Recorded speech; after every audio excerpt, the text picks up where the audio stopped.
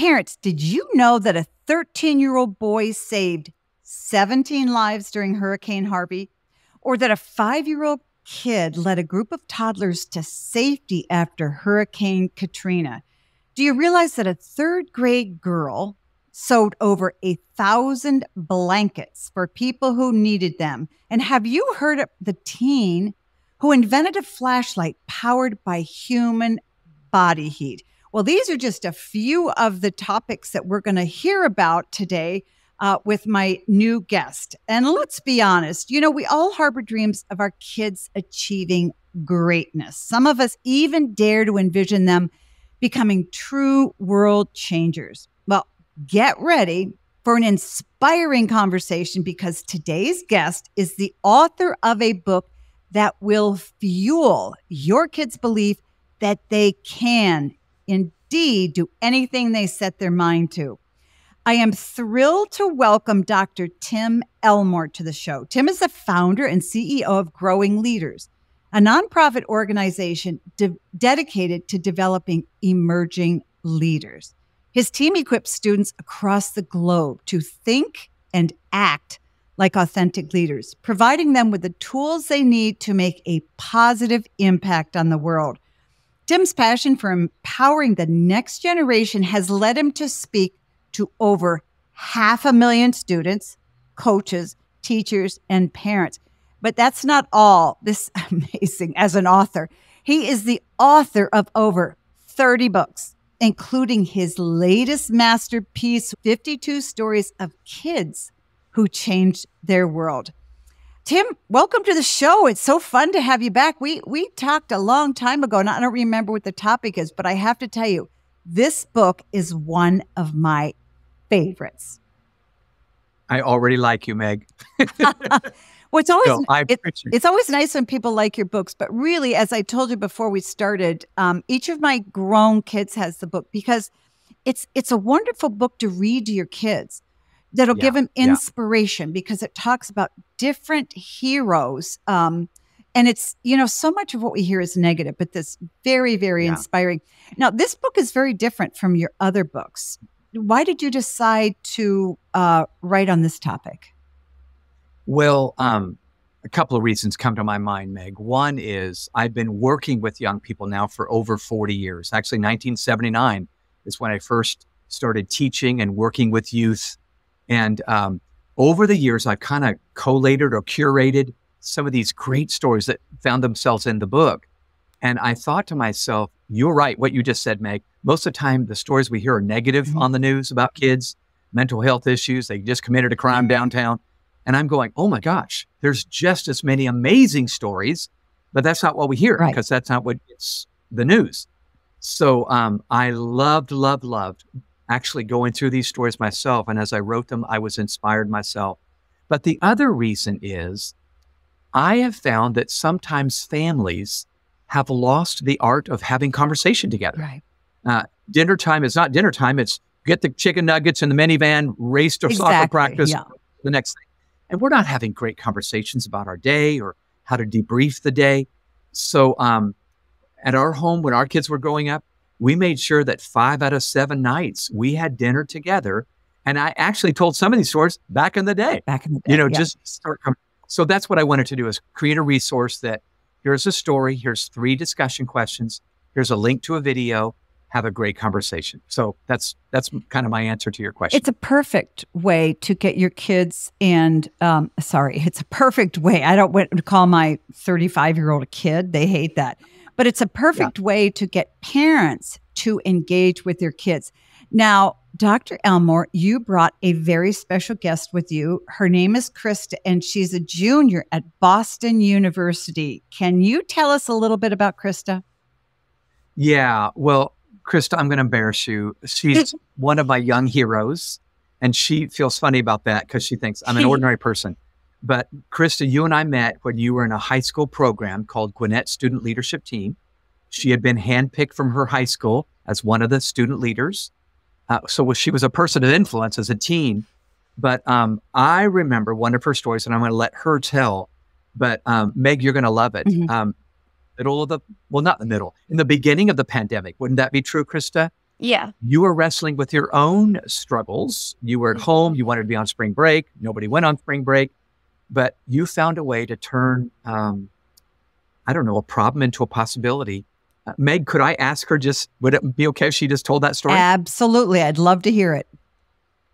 okay, go yeah, ahead. So when COVID first hit, I had no clue what to do with myself. I was a busybody. I loved being with people and, and making a difference. And um, sitting around my house was horrible for my mental health. And um, I just felt so drained all the time.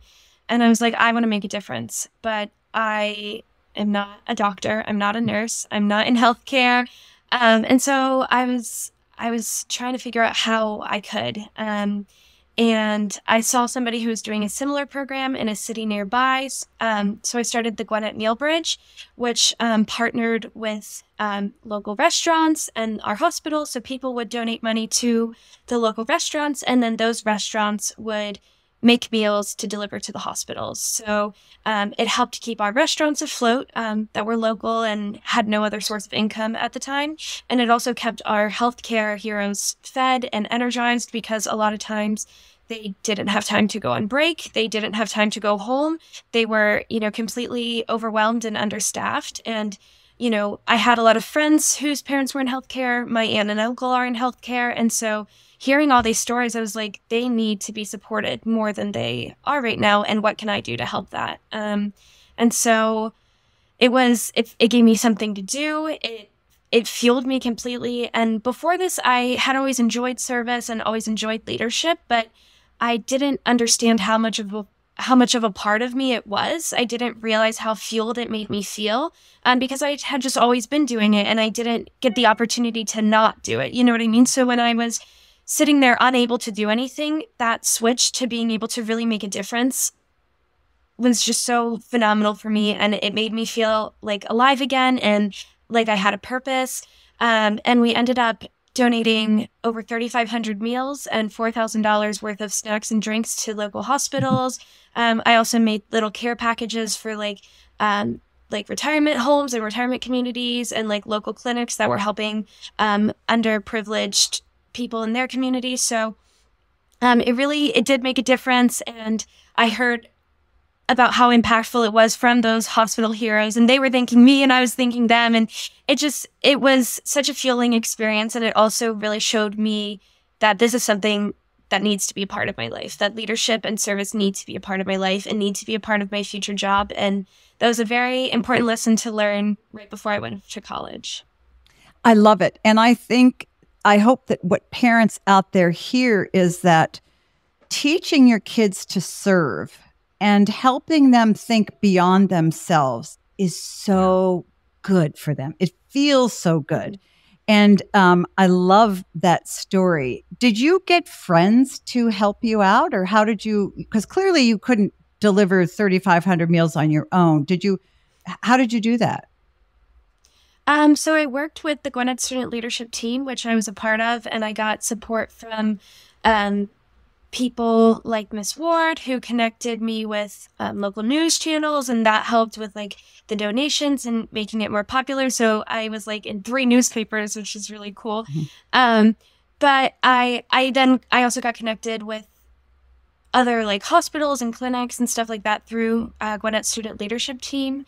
Um, I did do a lot of the delivery and pickup. I mean, I had nothing else to do, so um, my mom drove and and I picked everything up, put it in our trunk, and then delivered it to the hospital. Um, and um, yeah, but I had a I had a lot of support from the community. It was hard because you can't really get together with anyone at that time, so it's hard to meet. It's hard to like coordinate. Everybody was new to Zoom and new to these like like this was first second week of like the shutdown, so um, it was really hard to kind of coordinate with people like that. Um, but what was really awesome was after I got the program set up um, and had it organized and people understood how it worked, it kind of took off on its own.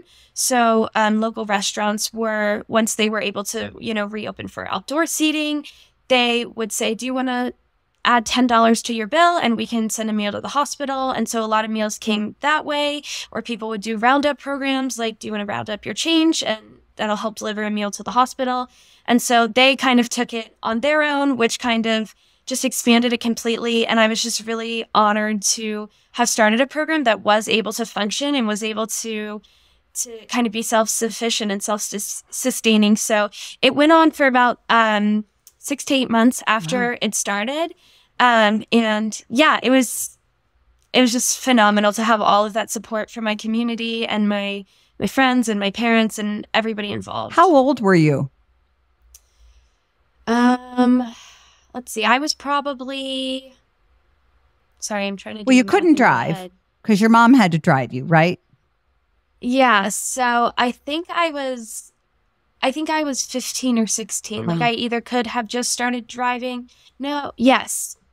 Sorry, I'm trying to do the math. I think I was about 16 when it happened. You know, Tim, I, I I'm intrigued by the story. Thank you for doing what you did, Krista. That's phenomenal. Thank and you. I know it meant a lot to the medical community. And you know, Tim, so often as parents, we are hesitant to give our kids responsibility and challenges, thinking, well, they're not really ready for it. Um, talk about why that might be. Yeah. Um, this is just me, but here's what I have observed when I interact with parents in all 50 states. Uh, there's a new kind of parent today, not just a new kind of kid. And I think we're so afraid for our children. You know, we don't want them to skin their knee or get hurt or whatever. And that's all well intentioned. But Meg, here's what I think we risk too little, we rescue too quickly, and we rave too easily. Mm. Those are all well intentioned moves, but they have been counterproductive to get a generation ready to take their place, like Krista is doing as a young adult. So we risk too little. That's all about, I'm scared for their safety. Mm-hmm. Well, is it part of growing up? I do skin my knee. I do get in trouble. I do have to navigate or negotiate with a teacher when I forgot a project. That's all part of growing up. But we're doing it for them. We really have, as parents and even as a culture, become risk averse. Yeah, you know, we have adverse. We, we don't want um, our kids to take risks. We don't want them to fail. We don't want them to fall. We want life to be just really, really great for them. But you're right. Until kids take a risk and fall down and mess up, they're not yeah. going to learn leadership skills because a lot of time leadership comes out of what Krista was talking about. You're really struggling with something and yeah. you need to oomph your way out of it. And that's an incredible uh, skill for kids to learn, don't you think? Absolutely. In fact, a number of years ago, I did a book called Artificial Maturity. It sounds derogatory, but it's really not. Um, here's what artificial maturity is kids in our day are overexposed to information earlier than they're ready and underexposed to firsthand experiences later than they're ready.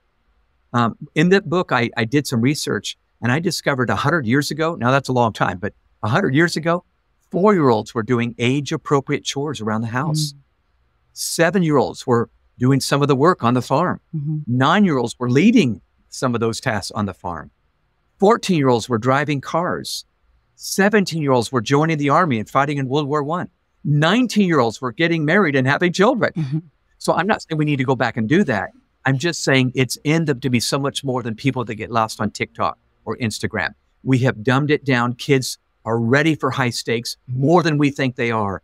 And if they get into trouble, it's because we've not challenged them to solve problems and serve people. Um, I'm sorry that I'm, I'm obsessed with this. Solving problems and serving people is a sign of maturity. And I think, Krista, I'm going to embarrass you. You have shown that's what I love to do. Solve problems, serve people. That's what that whole thing was about for those months that you were there in 2020 and you found out you won in the process. Mm-hmm. I got I mental health problems I've got, you know. so um, I just believe we can make the difference as caring adults, parents, teachers, coaches, if we'll say, I'm going to give them a high stake project or challenge.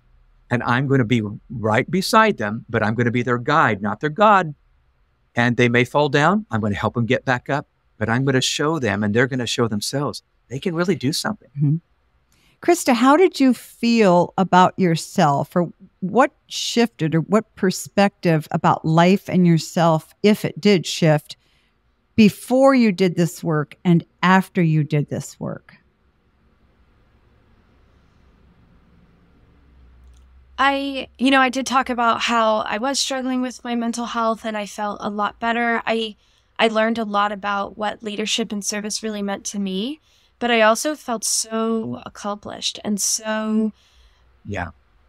Like like I can do anything. Mm-hmm. Like it was so ambitious. It was so scary. You know, it was overwhelming. I had no clue how to start, but but you know those those leaders in my life, my parents, um, adults, you know, at my school through GSLT, they all guided me and they helped me, and it happened, and it just felt phenomenal. Um, and it was really, I think, foundational to my willingness to innovate and my willingness to create and and and make an impact and put myself out there.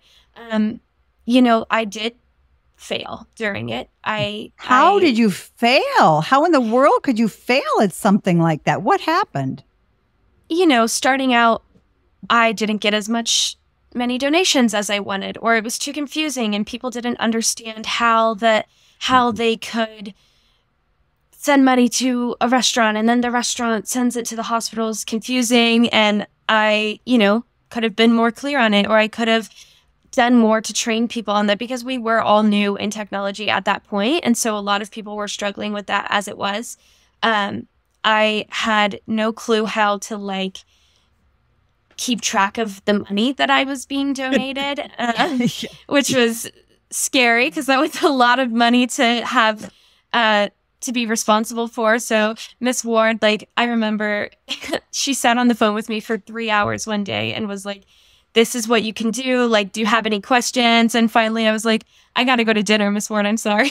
but um yeah, I mean, it wasn't like huge failures. And I have had I have had those things that that haven't worked out the way I wanted them and I've pivoted. But this was just an example of like like making a mistake pivoting making a mistake pivoting. And and i think that that's how i learned and that's how i experienced it. And um, it taught me to pivot faster and it taught me to be adaptable. And I, I feel like i have always kind of had those skill sets but i never really like put them into play. And i never really had had something that i said this is what i did and like it was awesome. You know what i mean? Mm-hmm. Tim, you write a lot of stories in your book. Are there any that stand out to you and if so, is failure part of um, the experience of some of the people that you wrote about? I would say most of them. So I'm thinking of two right away. Uh, one is, by the way, there's stories of kids who are living today, and then there's some stories of kids from history. So a little boy named Louis, who lived during the 19th century in France, he was out in his dad's workshop one day as a three year old preschooler. Mm-hmm. And he got a hold of one of his dad's tools. It was an awl. Remember those awls yes, that were pointed? Sure. And he accidentally poked one of his eyes out. Tragic. Well, because medicine wasn't what it is today, the infection grew into the other eye. He went completely blind within less than a year. Mm-hmm. Well, I love the fact that his parents said, We are got to get a way to get him to a school for the blind. Well, there weren't very many, but they went to Paris and found a school for the blind. I guess it was like a K 12 school. But within a matter of a few years, Louis discovered they really don't have a great way of teaching reading to blind kids. They don't have the current way we have today. So Louis at 12 began to work on a new method. And by 15, he'd come up with a brilliant method. His name, in fact, is Louis Braille. Braille. Anybody ever heard of the Braille mm-hmm. system of reading for the blind? Wow. He did that as a teenager. Wow. And of course, I never knew that as yeah, a teenager. Yeah. yeah. So here's the great part of the story. That's not even the great part.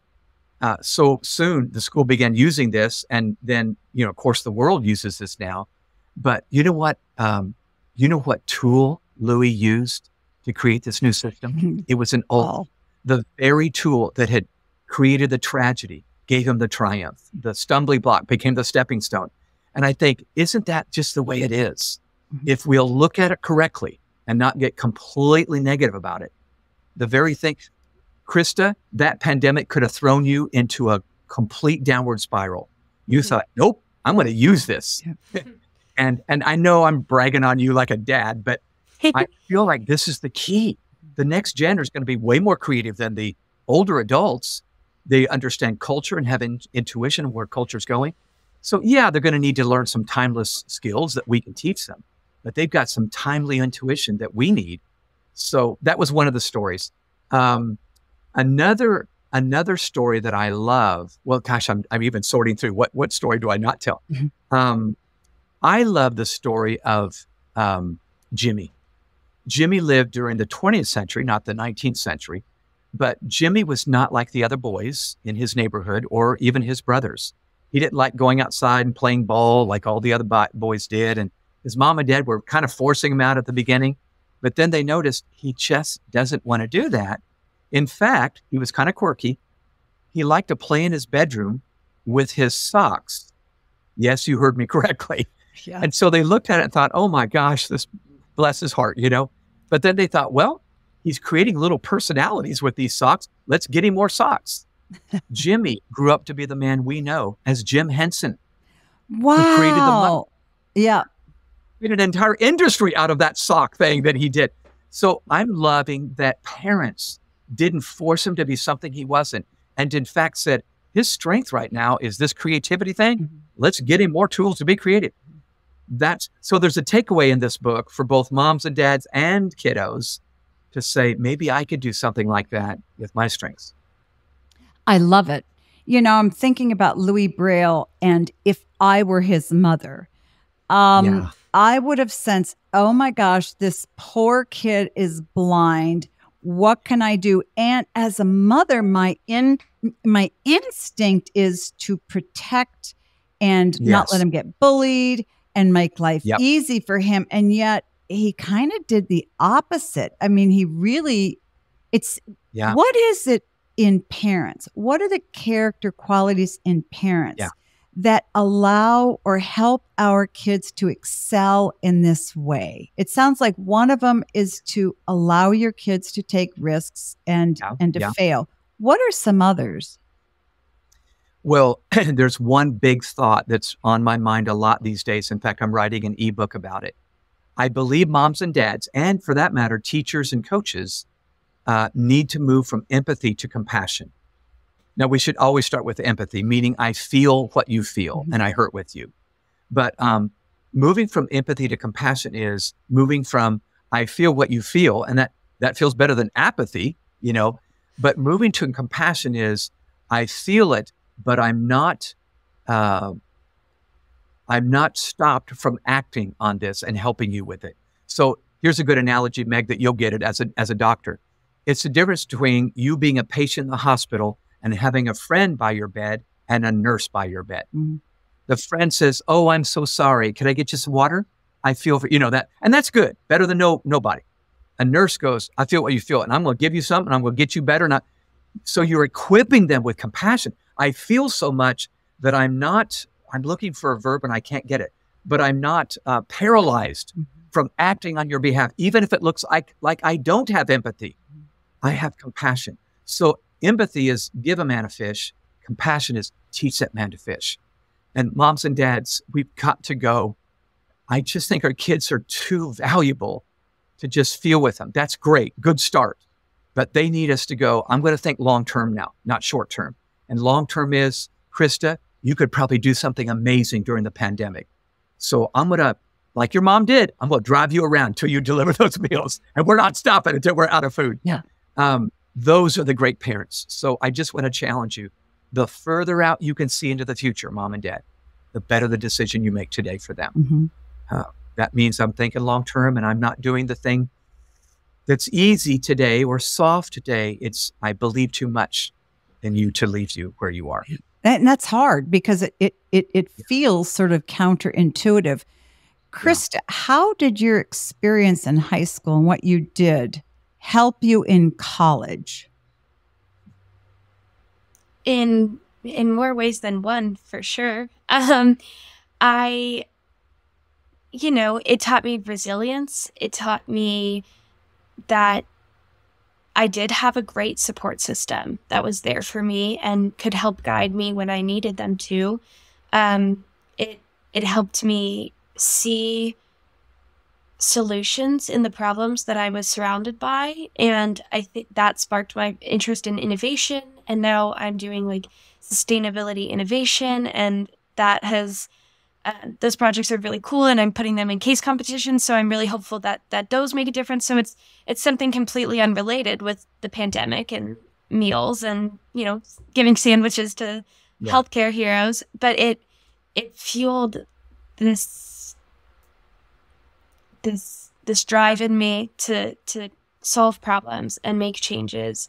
Um, yeah, I think and and I think the reason I was drawn to BU where I go was because they they are passionate about that as well. So they have like a lot of opportunities that involve innovation, um, and I think that that's really cool. But but like Dr. Elmore was talking about, finding those opportunities in things that are unique to me and that I'm passionate about, um, I think was something that the the Meal Bridge taught me because it was such an awesome project. But I can't do anything with it now. You know, the the pandemic is over, um, so like seeing that and reflecting, like I'm still so grateful for the opportunity, and I wouldn't have not done it if given the chance.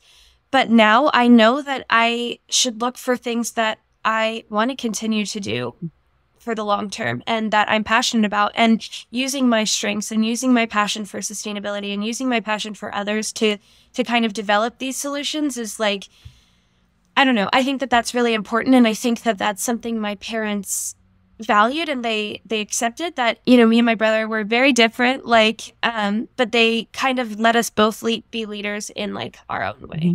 You know that leads me to think Tim about a lot of conversations I've had with parents about their teenagers and particularly teen boys, I think. And they say, I can't get them motivated. They never want to do anything. Um, what can parents do to help their kids, particularly boys who might be a bit immature in their teen years, to get up and go and to try things? Is it important for parents to do it with them? Should they send them off on their own? How how do they jumpstart that? Yeah, that's a great question. And one that probably doesn't have a simple answer. Mm-hmm. But let me just take a couple of minutes and say, I think, like I alluded to earlier, artificial maturity, overexposed to information, underexposed to firsthand experiences. The reason I call that artificial maturity is a kid might look mature because mm-hmm. they know so much at eight years old. They know, you know, their math tables, they can download the latest software. But that same kid at 16 might not be able to look an adult in the eye and have a conversation and shake their hand. So I feel like what we need to do is reinsert experiences. And I think, Meg, to your question, we should go with them at 1st mm-hmm. So when our kids were growing up, we went down to Safe House Outreach in downtown Atlanta and we served the homeless together. Mom, dad, Bethany, Jonathan. And then we talked about on the van ride home, wow, that was smelly, you know, or did you see what that guy did, yeah. you know, or whatever. But we said, boy, aren't you thankful for our home? Yes, I am, you know. But then we talked about what skill sets we were learning. So I would say do it together first, but eventually, the greatest thing I think Pam and I did was we sent them off and said, give it a shot. You don't even need me next to you. And um, so I believe there's going to come a time, moms and dads listening, that we cut the apron strings, we send them off to Boston University, maybe, or wherever.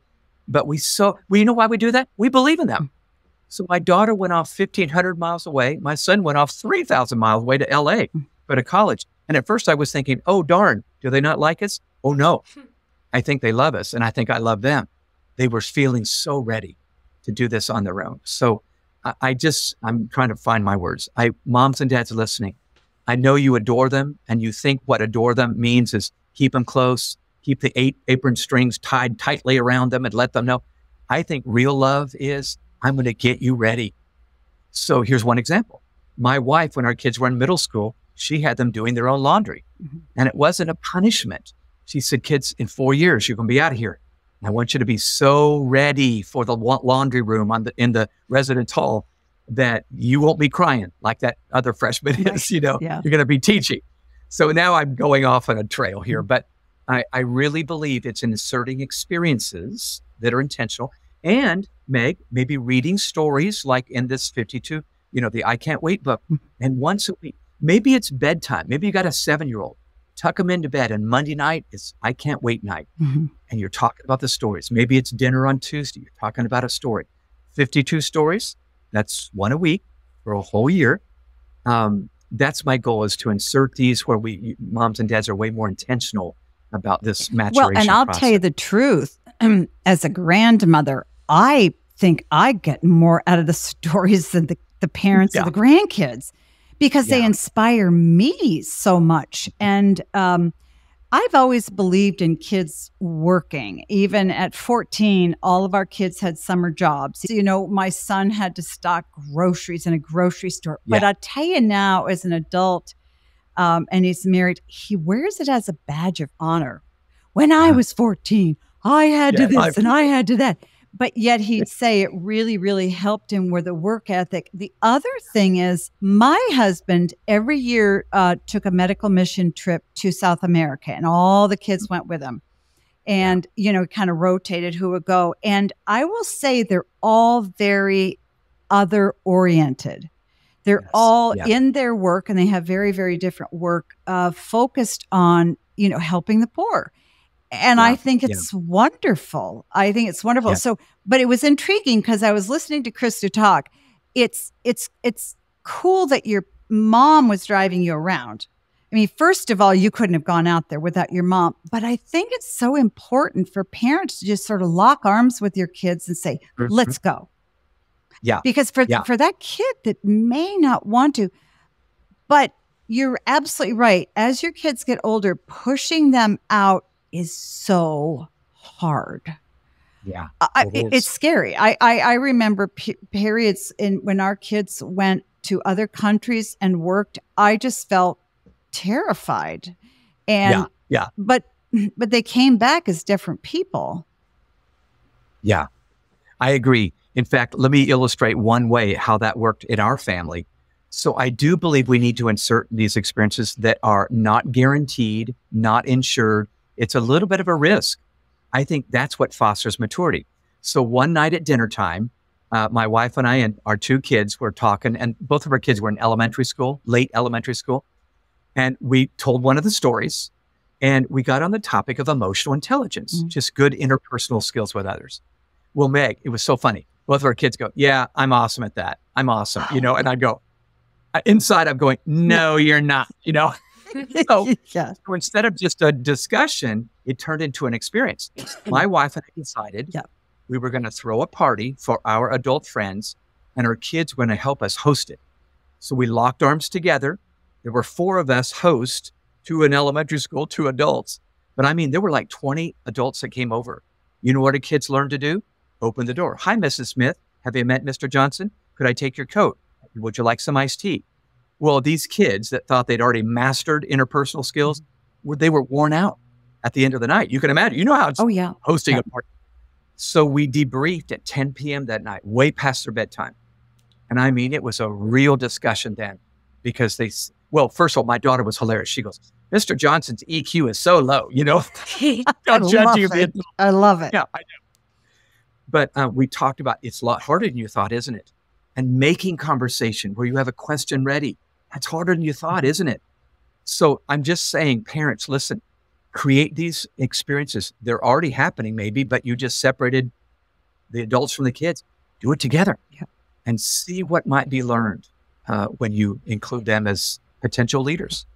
I love it. I think that, um, you know, other adults in your child's life, your friends, as, uh, you know, parents' friends, Yeah. are critical in having an impact on younger kids. And a lot of that is teaching kids how to communicate in a comfortable way and a Yeah. respectful way with other adults. And I think that sometimes we so underestimate kids, particularly in high school, because we have this mantra oh, what Yeah. teenagers need is more peers. No, what teenagers need is more interaction with your peers, mom and dad, because that's how they really sort of learn what it looks like to act and talk like an adult. We only have a couple more minutes, and I'm intrigued, um, Tim, that you say the, the, the kids in the Gen Z and Gen Alpha um, are going to lead the way into the future. how are they different from other generations, do you think? Well, they didn't just grow up with a cell phone, they grew up with a smartphone. And that's been a bit of a game changer. Wouldn't you agree? Yeah. So, uh, what I'm hearing in corporate America is the age of authority is dropping. Mm. In other words, it used to be the older folks, the elders, they have all the wisdom, just listen to them. Well, now kids are coming in, graduating from college into a job. And while they do need to learn a ton from the 45 year old boss, they've got something to add. Mm-hmm. They may help the company monetize TikTok for the marketing department. So um, I think we need to be listening as well as telling. And um, Meg, to your point before, I know we're short on time. We, the smartest decision we made as parents, Pam and I, when our kids were growing up, at 13 years old, we introduced a rite of passage experience to our kids. With Bethany, she and I together in the eighth grade, when she was in the eighth grade, we picked six women that would be one day mentors for her that year. Women that she thought were really cool and that her mother and I really respected as wonderful role models as females. Mm-hmm. Some were working time jobs, some were stay at home moms, but um, they met and she talked to adults once, uh, you know, six times a year, learning to make conversation. The first gal was Sarah. She's a nurse in the maternity ward. She took Bethany with her into the maternity ward. Bethany was helping women give birth to babies between nine and three that day. Wow. Scares me to death right yeah. now thinking about yeah. it. Then Sarah took her into a class at the hospital that she taught for unwed mothers. And she was with teenagers that were pregnant and probably didn't want to be. Well, over dinner that night, every one of these ladies, I asked them to share a life message with our daughter, one that they wish they would have heard when they were in the eighth grade, and nobody ever shared it. Sarah's life message for our daughter was handling your sexuality wisely. I won't go any further, but it was it was adult conversations, adult experiences and at the end of the year, we had all the ladies over to our house. Many of them had not met each other. They met each other. Bethany served them dinner. So, Krista, it was serving other people. Mm-hmm. And then we sat down in the family room and it was very emotional. Bethany sat a chair up in the middle of the room. And even though I coached her to do this, she did it. She read a personal letter to each one of these ladies Dear Miss Sarah, this is what you taught me. This is how my life changed. Mm-hmm. Thank you. Dear Miss Holly, dear Miss Betsy. Oh my gosh. Well, there wasn't a dry eye no. in the room.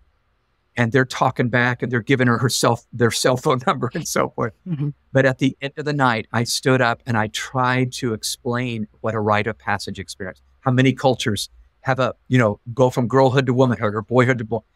I couldn't make it through my little talk, but I didn't have to every one of these ladies understood intuitively what was happening. Exactly. They got a sofa and chairs, knelt down on the carpet, and looking up at our little girl, just spoke words of blessing. Mm. Bethany, you're going to be a great leader. I can just see it. Bethany, you're going to be a great wife if you choose to be. You're going to be a great mom if you choose to be. Oh my gosh. That year, she pivoted from thermometer to thermostat with her friends wow. because the voices of other adults and by the way, we didn't delegate our parental responsibilities. We just said we want other voices. And uh, it was a game changer. So I guess I say that just to echo what you shared, uh, Dr. Meg. We ought to welcome the other voices of adults in their life, and they should welcome them too. It's, I mean, think about Miss Ward, Krista. She was like a second mom for part of your life, wasn't she? Yeah. And, I was just going to say, I think it's also important to give children those voices as an adult. Um, mm-hmm. like in high school, I was in such a weird place where I still had to ask to go to the bathroom.